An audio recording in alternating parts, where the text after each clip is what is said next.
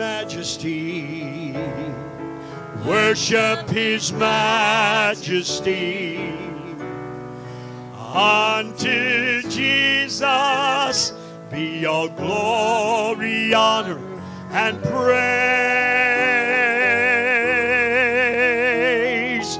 Majesty, kingdom authority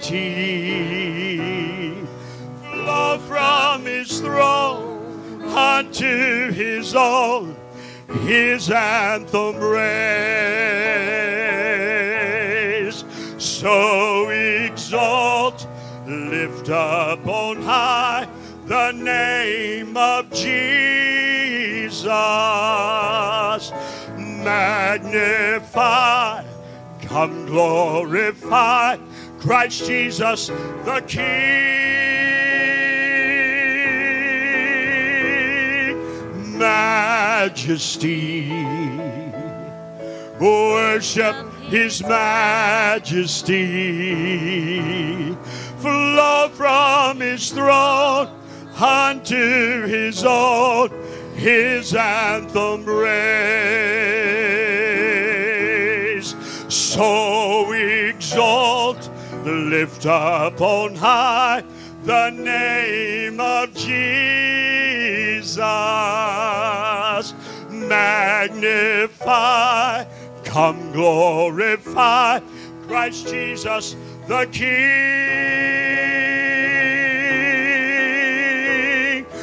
Majesty, worship his majesty. Jesus who died, now glorified, King of all kings.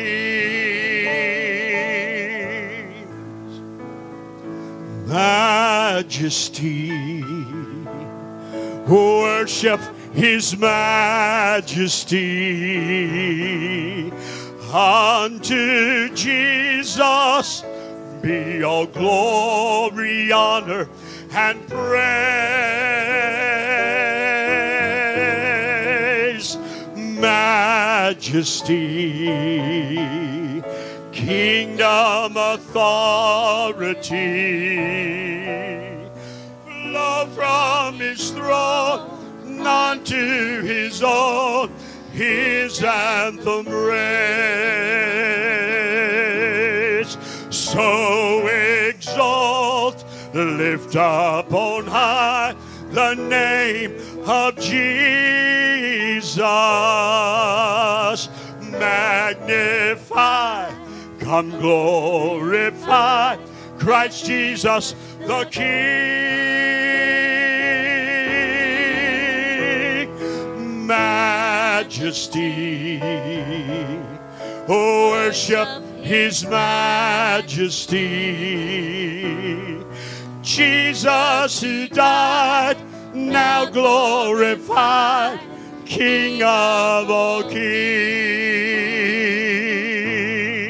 Jesus who died, now glorified. Jesus who died, now glorified.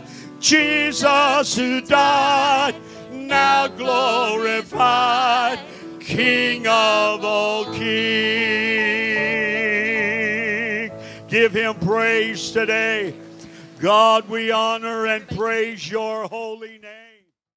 We began a series of messages uh, last week entitled Better Choices, Better Life. How many of you know that the choices we make in life determine our destiny and our future? How important it is to make quality choices because quality choices means we will have a quality life. Today, I want to talk to you in that vein of making choices. I want to talk to you about overcoming temptation. Overcoming temptation. And I want to begin by asking you the question this morning. And I want you to really ponder this question in your mind. And in your mind and in your heart, I want you to try to answer this question. I want you to pretend that someone walks up to you and asks you the question, Who are you? Who are you? How would you answer that question? Who are you? Because when you know who you are, then you know what to do. When you know who you are, you know what to do. As individuals, our self identity is so important for us because our self identity tells us who we are and it tells us where we're going. If you don't know who you are, you don't know what to do. If you don't know who you are, you don't know where to go. We have to understand who we are. Because knowing who you are gives you the ability and the strength and the courage to make right choices. Amen? This question came up with the church of Asia and Peter wrote a letter to them, First Peter, because they were struggling with their identity. And because they were struggling with their identity, they didn't they, they were losing focus of what they should do as children of God. And so Peter wrote this letter to them in First Peter. And in First Peter chapter 2, verse 9, Peter wrote this to them. And I want you to take these words to heart this morning. Peter said, But you are a chosen generation. Somebody say, I'm a chosen generation. Amen. He said, You are a royal priesthood. He was helping them to discover their identity in God. He said, You are a holy nation. You are His, God's own special people. Say, I'm special this morning. I'm special. Why? Because you're God's special people. Amen. Amen. Why do we understand? When we understand this, he says, then you can proclaim the praises of him who called you out of darkness into his marvelous light. Amen. Our greatest need today as a church, our greatest need in Christendom this morning, is that we become who we already are in Christ. I want to say that again. That we become who we already are in Christ. The writer of Romans put it this way He says that you might live in unity as a church, that you might grow up into maturity and to grow into the fullness and the full stature of Jesus Christ. What was he saying? He was saying you need to grow up in Christ that you become just like him. But you can't do that if you don't know who you are. When we know who we are, then our decisions, our choices will not be based on what feels good in the moment. And that's where, where people, most people stand. They make their choices based on how they feel right now. How do I feel right now? Instead of based on who they are in Christ Jesus. we let the devil run roughshod over us. Amen. We let him foist sickness and weakness and doubt and fear and confusion over onto us because we fail to claim and realize who we are in Christ Jesus. I am a child of God. I am the righteousness of God in Christ Jesus. I belong to Him. I am complete in Jesus Christ. That's who I am. And when you know who you are, you can stand tooth and toenail with the devil and you can tell him, Devil, get out of my way. I'm moving forward in the name of Jesus Christ, my Lord and Savior. Give him praise today. Hallelujah. We need to begin to act on who we want to be in God. Amen. And as we said last week, our choices are based on our values.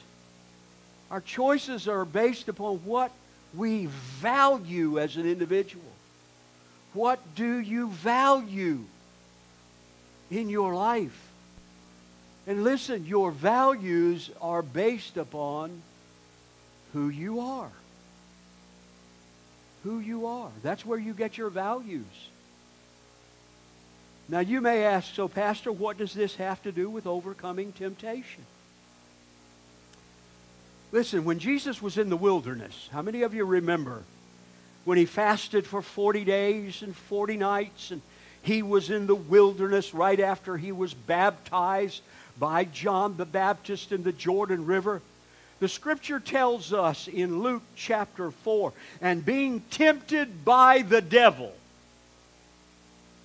And the devil said to him, Notice the first question the devil asked Jesus in the temptation. If you are truly the Son of God, then say to this stone, turn it into bread. You see, in the previous chapter, chapter 3, when Jesus was baptized in water, the Bible tells us when he came up out of the water, the Holy Spirit descended upon him in bodily form, and a voice came from heaven and said unto him, What? You are my beloved Son, in whom I am well pleased. That was his identity. And the first thing the devil wanted him to question in his life was his identity in God. And that's what the devil will try to do with you. He'll try to get you to question your identity. Because if you question your own identity, you become weak and you become frail and you become uh, easy, easy prey for the devil. Somebody say amen. You see, it wasn't just about turning the stone into bread, it was about basically the devil saying, Who do you think you are? Amen. How many of you have ever given in to temptation and then regretted it? Raise your hand. Come on. Have you ever given in to temptation and regretted it? Every one of us. There's not a person here today that has not given in to temptation and then immediately begin to regret it. We all have done that. And chances are, in most cases, when you gave in to temptation, you gave in to that temptation because you weren't prepared for what the devil threw your way. Amen? You just weren't prepared. 1 Corinthians chapter 16 verse 13 says, "Be on your guard. Be on your guard. Stand firm in the faith. Be courageous. Be strong." Jesus told his disciples on the night that he was betrayed and crucified in Matthew chapter 26 41. He said, Watch and pray lest you enter into temptation because the spirit indeed is willing, but our flesh is weak. Amen. The problem with too many of us is we think we're going to stand on our own merit. We think we're going to stand in our own strength. Let me tell you something. You are no match for the devil. You are no match for your own flesh. You are no match for the deceitful thoughts you have in your heart. The only way you can stand up to the enemy and stand up to temptation is because you realize that greater is He that is within me than he that is in the world. I don't stand against the devil on my own ability, my own strength, or my own merit. I do it in the name of Jesus. Hallelujah. Hallelujah. Why did he warn us? Be on your guard. Why did they warn us? Watch, pray, be strong, be courageous. You know why? Because Paul and Jesus knew the devil's coming for you. If you haven't felt it already, it's coming. Amen. They tell us that we are in three, one of three modes in life throughout our entire life. We are either going in a trial, we are going through a trial, or we're coming out of a trial. That's where we live, saints of God. Why? Because the devil is coming after you. Our spiritual enemy, the devil, has a mission in life. And that mission is to steal, kill, and destroy anything and everything that matters to God. And you matter to God. You matter to God.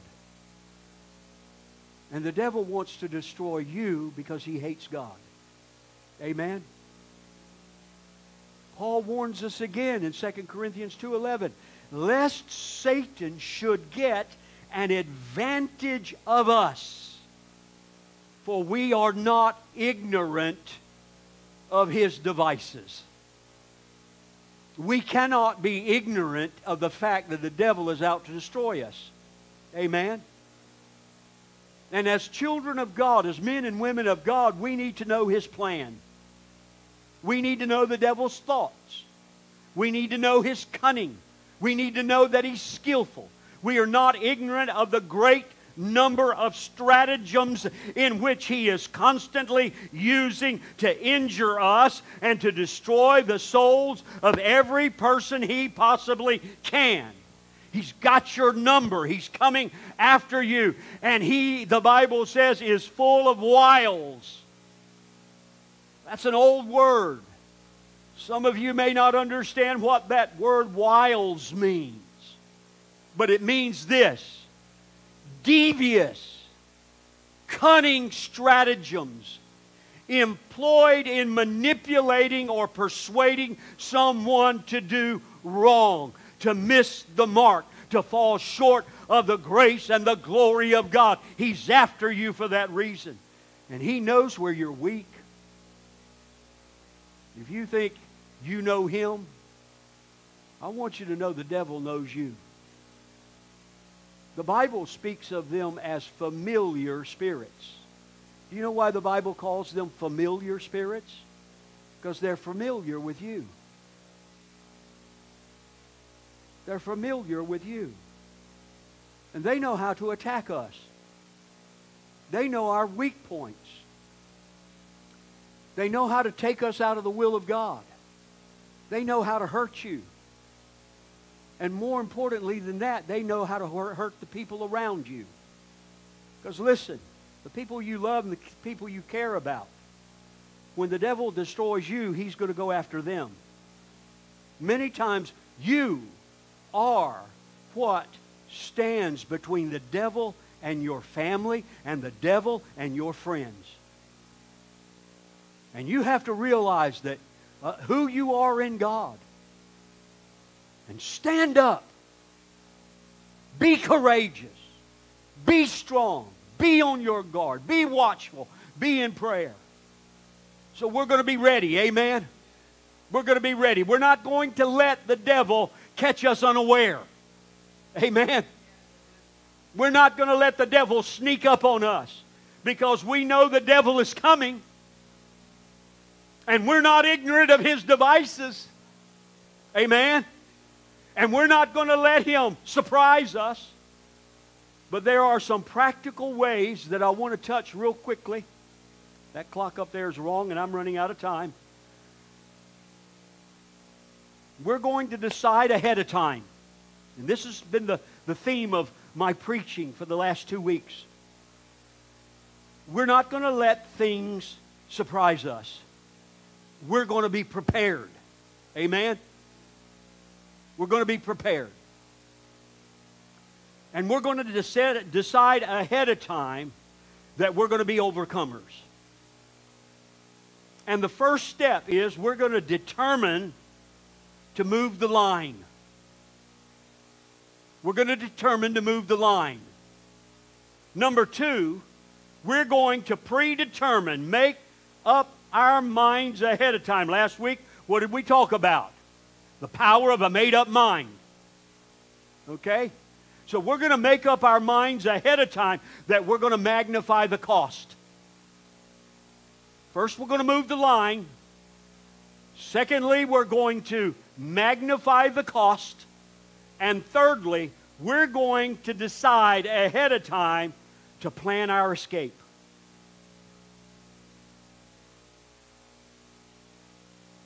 Does anybody have a roll of tape? Anybody here have a roll of tape? I, I want to make an illustration. In fact, I need a roll of orange tape. Anybody have a roll of orange tape? Isn't that amazing? Vicki, you are amazing. Would you bring that to me? It is amazing that she would just have exactly what I need this morning.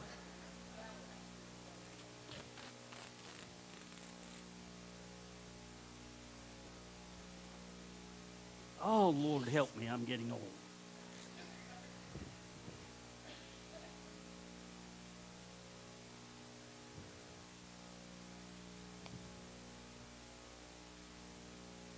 So there's the line. First step, we're going to learn to move the line.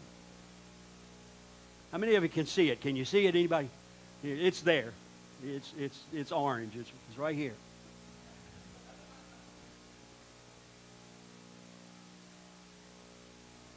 This side over here is sin. This side over here is righteousness. Notice which side I'm standing on.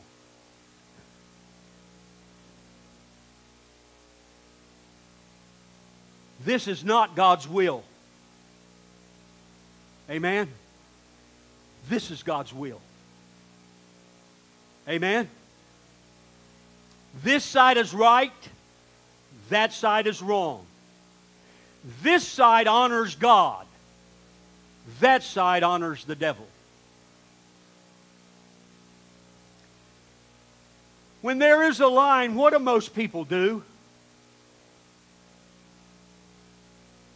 No, the majority of people, especially Christians, most of them are right here. They're right here. They camp out, right? This is where they live. They live as close to the line as they can get. Mickey, come here. Come here, Mickey. I just thought of this. I, am going to, Mickey, yeah, come, come and stand. You stand right here close to that line. Stand right there. Isn't that a nice shirt? All things.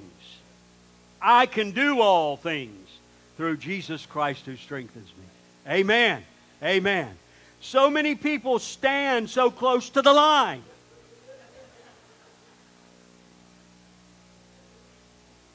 And when you stand close to the line, it's easy for the devil to trick you just like I tricked him. Amen? Amen. Too many people are, are standing too close to the line. They want to get, you can go down. Yeah, they want to get as close to this sin line as they can. Thank you. Yeah, give him a hand. He did a good job. Uh, yeah, he had the right words. Is exactly right. I can do all things. Amen. But so many people, they're right here. They want to see, they want to get just as close to that line as they can. And this is where they live their entire Christian life. They get so close to the line that it's easy for the devil to trick them. It's easy for the devil to pull them over. Amen.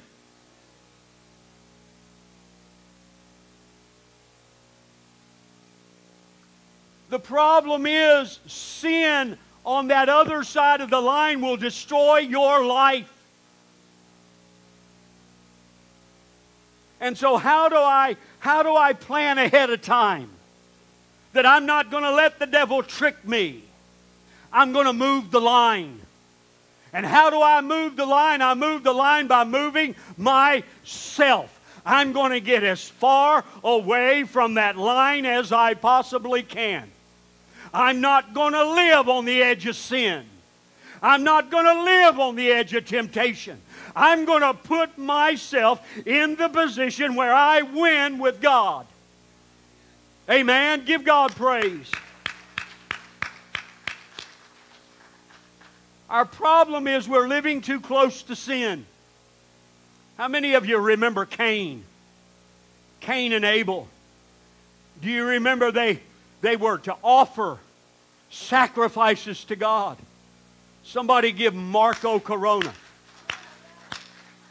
a welcome this morning. Marco, praise God, it's good to see you. Fresh from Korea. Amen. Marco used to be our praise and worship leader. Amen. We've been missing you. I sent you a text, you didn't respond. Told you I missed you, been thinking about you. Anyway, but you remember Cain. They offered sacrifices unto God. But Cain offered an unacceptable sacrifice to God. You remember that? Unacceptable. And God gave him a second chance. God went to Cain and said, Cain, don't you know if you do right, you'll be accepted? Do the right thing. Do the right thing and you'll be accepted. But listen to what God said to him. If you do what is right, you will be accepted. This is Genesis 4 and 7. But if you do not do what is right, sin is crouching at your door. And its desire, sin's desire, is to have you. Amen? That's what God says to Cain. And then he says, Cain, you must rule over sin. You cannot let sin get the upper hand in your life. But see, what Cain tried to do was what many Christians try to do. He tried to walk the line. He tried to get just as far away from God and as close to sin as he could without missing out with God. And God said, You better be careful, Cain, because sin is crouching at your door like a lion and it's waiting to capture you. And you need to rule over it. Amen. I remember when I was a student pilot, we used to do a maneuver and we called that maneuver turn around a point. Turn around a point. And what we would do would we would select a stationary object. Most of the time it was a tower that reached maybe hundreds of feet above the ground. And we would point our wing at that target, that stationary object and the object of the lesson was that you were to keep the same distance uh, from that tower maybe that we were going around, keep that same distance uh, as you were going around it. Uh, try not to, to lose the distance. It gave you the ability, it helped you to learn to, to be able to judge distance while you were flying in the air. It also helped you to learn how that airplane flight maneuvering controls, uh, how they operated and how they affected the course of your flight. Uh, it helped you to gain a solid understanding of the pitch uh, or the roll or the yaw of that airplane. And uh, the object was not to get too close to that tower. I want to ask you, how stupid do you think it would have been if we would say, let me see how close to the tower I can get without hitting it? Do you think that would have been smart? But that's where a lot of Christians are. Let me see how close to sin I can get without crossing the line. I'm going to get just as close as I can. In the same way, if I know it's wrong, if I know it's sin, then I need to back off and say, No, I'm not getting near that. I'm not getting close to that. If I'm on a diet, hello? If I'm on a diet and I'm trying to lose weight, I don't stock up on junk food and soda pop. Take them home. Amen. You're going to lose. Amen.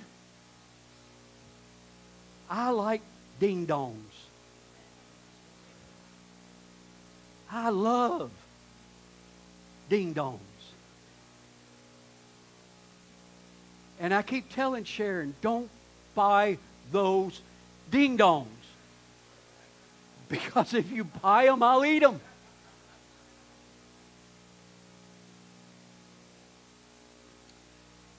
If I've got a spending problem, anybody? If I've got a spending problem, I don't spend all my time online looking at things I want and tempting myself. Stop it. Stop getting too close to the line. Understand I've got a weakness. Understand I'm tempted. Understand if I'm tempted, if I get too close, I'm going to fall over the line. Amen. Amen.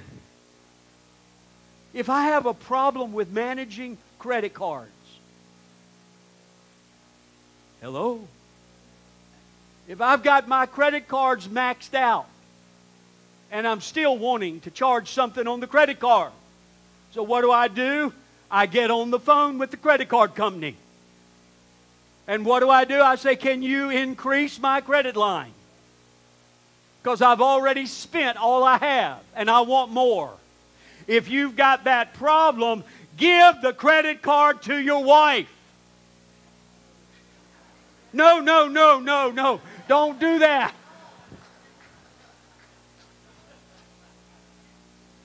You see, I can say that because I trust Sharon. I can say that because I trust her. Listen, if you've got a credit card and you keep maxing that thing out, it's going to take you 20 years to pay it off. Isn't that a shame? Isn't that a sin? Yes, it is. Yes, it is. Cut the thing up, throw it away. Stop charging. Determine in your heart, I'm going to pay this thing off. Amen.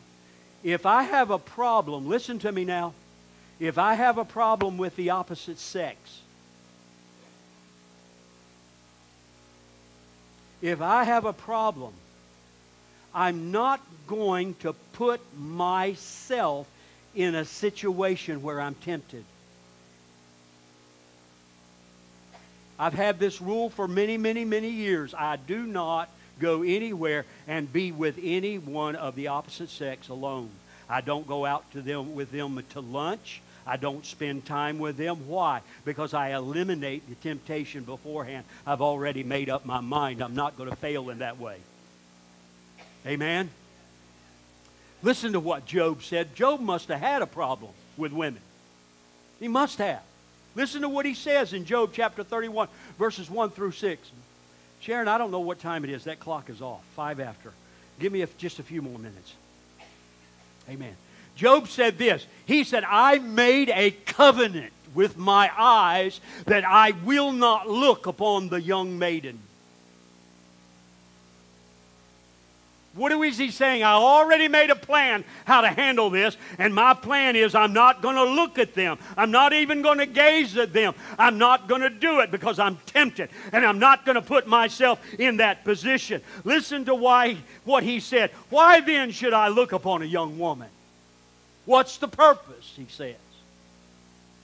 For what is the allotment of God from above?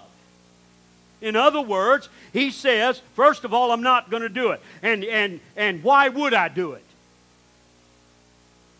And secondly, he says, I'm going to look at God and I'm going to see what God thinks about this. Amen? What does God think about this? For what is the allotment of God from above and the inheritance of the Almighty from on high? Is it not destruction for the wicked?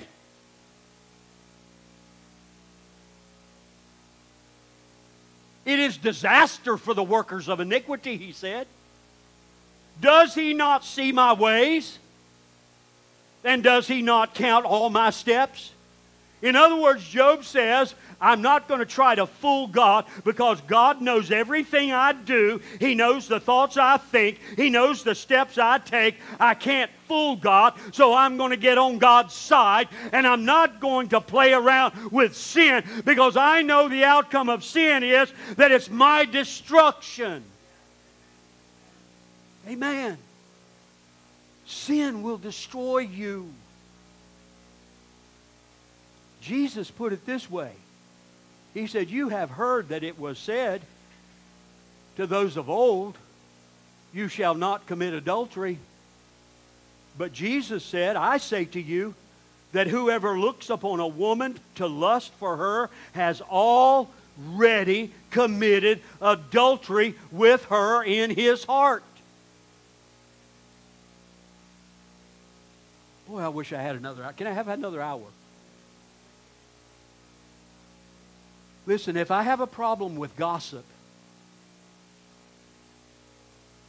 if I have a problem with tale bearing, I'm not going to spend my time with someone who wants to drag me into gossip every time I talk to them. Amen? In fact, Proverbs says that you are to avoid that kind of person who gossips. Stop calling them. Stop associating with them because they will drag you into their sin. Oh, Pastor, just gossip? Just gossip? That's going to take me to hell? Well, don't listen to me. Listen to the Word of God.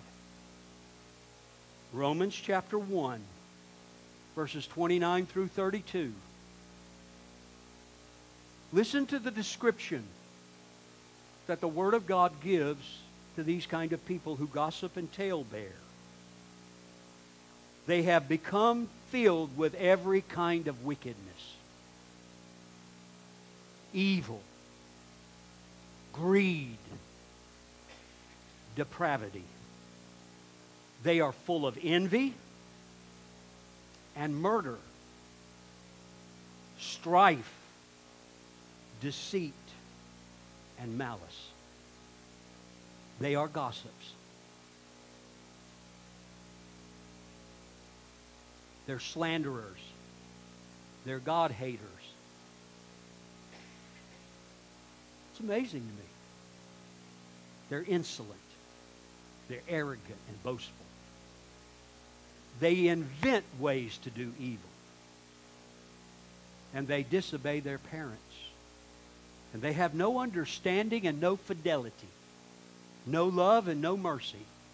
And although they know God's righteous decree that those who do such things deserve death, they not only continue to do these very things, but also approve of those who also do them. That's harsh. That's hard.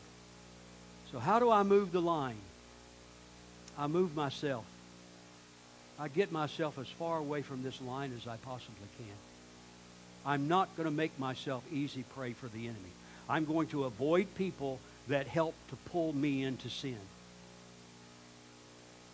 Amen. Number two, real quick, and I'm going to go through these quickly. We've got to ma- magnify the cost. Magnify the cost. We're going to magnify the cost because anytime we're tempted to give in to temptation, there's always a cost. There's always a risk.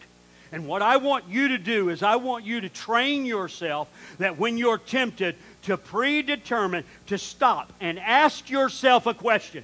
When you're tempted to do something you know is wrong that you should not do, you need to learn to ask yourself a question. What could go wrong here? You need to ask yourselves the question what can go wrong? Because listen to me, something always goes wrong. Amen?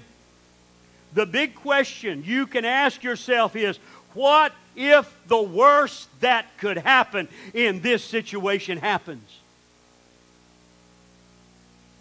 Recently, I serve on the CEC in our conference. Recently, we had to deal with a minister who had a moral failure with an underage girl.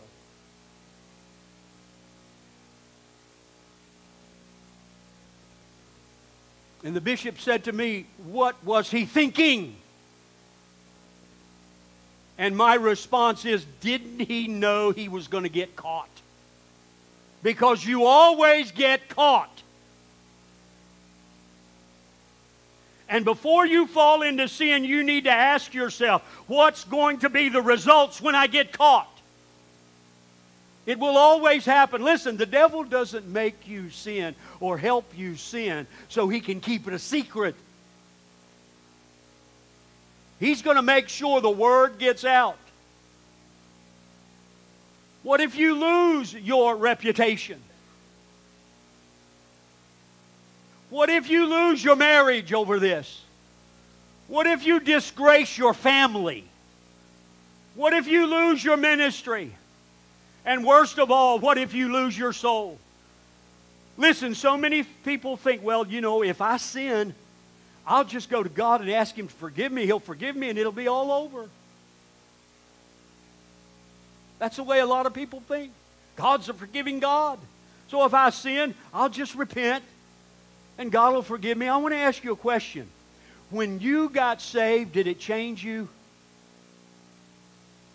Did it? When you got saved, when you gave your heart and your life to Jesus, and most of us, myself included, before I got saved, I thought I will never get saved. I will never give my life to God. I will not go to church. I don't like Christians. That was my attitude. I don't like those hypocrites. That's always just an excuse, it's never a reality. Amen? But something happened to me. God got a hold of me. And I gave my heart to Him, and I gave my life to Him, and He saved me. And when He saved me, He changed me. Hallelujah. He made me love Christianity. He made me love the church. He changed my life. He changed the way I thought. He changed my heart. He changed my attitude toward other people. He changed me. The Bible says old things will pass away, and behold, all things become new again. Praise God. When He saved you, He changed you. Amen. But I want to give you some advice here this morning. Sin also changes us. And this is what most people don't realize. If salvation will change you, sin will change you. And I've seen it happen, and you've seen it happen time and time again. You've seen a child of God backslide on God, turn their back on the Lord, go out into the world. Maybe they were thinking, I'll just repent. I'll come back to God. I'll come back into the church. But once they got out there in sin, and once the devil got a hold of them, they changed. Just like when they got saved, their thinking changed, their attitude changed, their heart changed. They became captured by sin, and they are now out in sin, and they may want to come back, uh, but they don't have the ability because sin changed their life. Amen.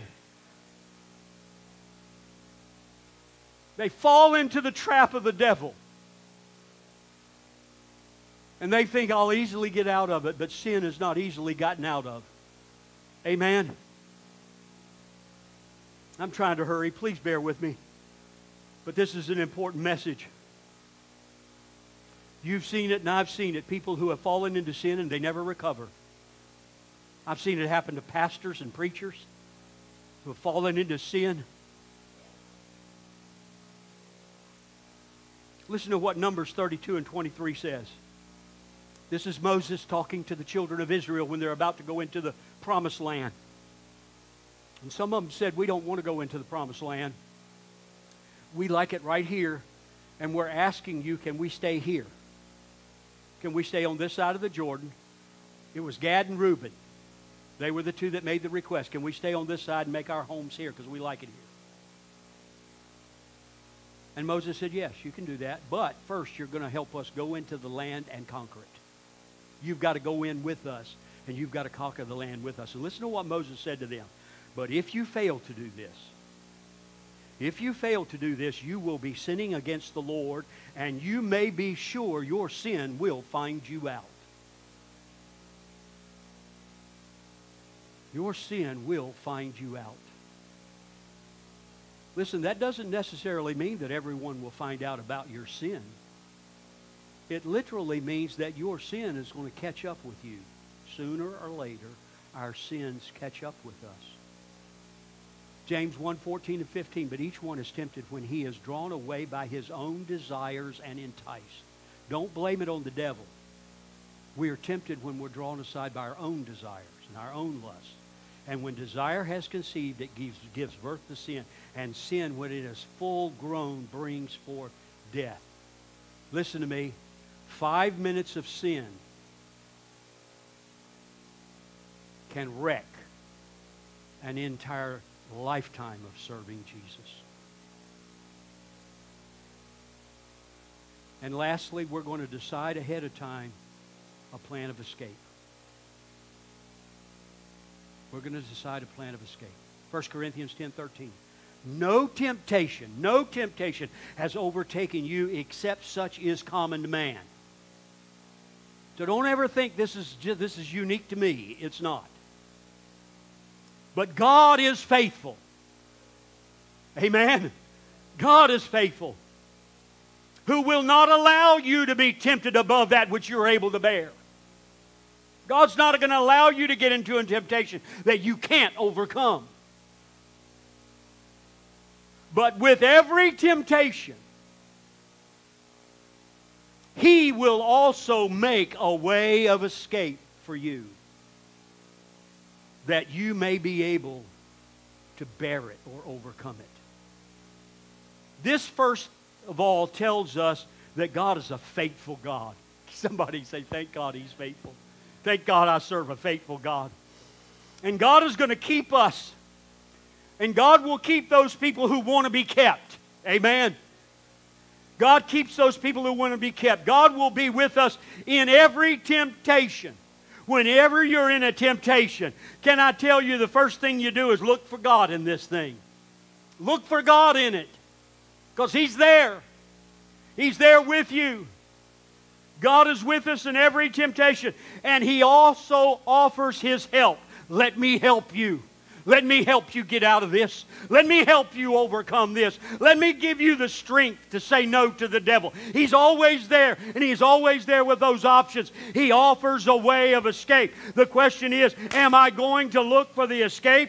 Am I going to go to that door that God has opened and provided for me? Or am I going to ignore God's way of escape and enter into sin anyway? It's up to us he always offers that way. But we have to be determined to follow His direction. Amen? Would you stand with me?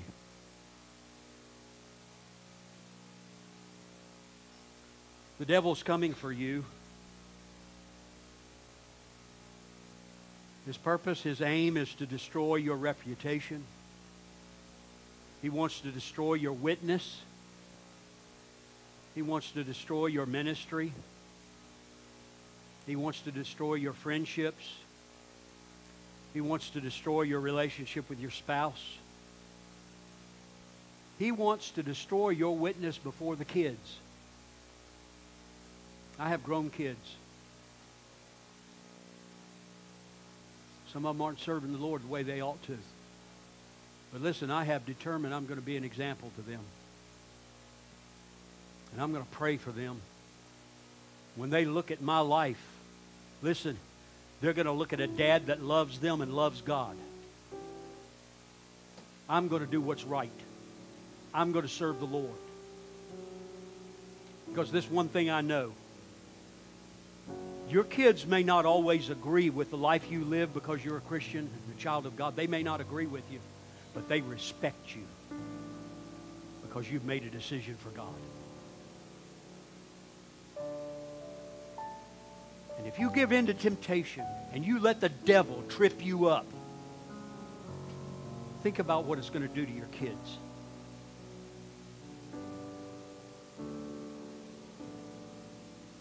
Because there's always consequences to sin. When we accept God's way of escape, listen, when you accept God's way of escape, it's freeing, it's liberating. When you accept God's way of escape, the joy of God will fill your life. Amen. You'll be filled with joy and peace and grace. Will be increased and expanded in your life because you chose to do right and not wrong. It will give you liberty and grace. Father, I come to you in the name of Jesus. Father in heaven, I need you today. I need the grace that only you can give. I need the love that comes only from you. I need the help that comes only from heaven. God, I can't stand on my own. I'm not strong enough, Lord. I'm not able to face the enemy by myself. I need you, Lord. And I know you're faithful. I know you're always there. I know you're always offering a way out for me. I trust you, God. I trust you. I surrender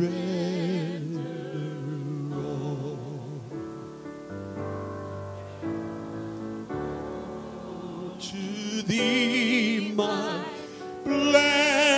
blessed Savior. I surrender.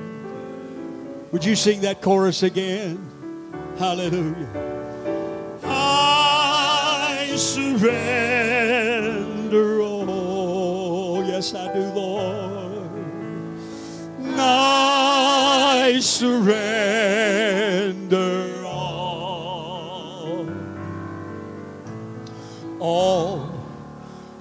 thee, my blessed Savior. I, I surrender surrender all. Right where you are, will you surrender your all to Him today?